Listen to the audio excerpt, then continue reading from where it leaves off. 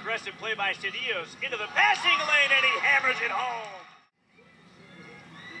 Good aggressive play by Sedillos into the passing lane, and he hammers it home. Good aggressive play by Sedillos into the passing lane, and he hammers it home.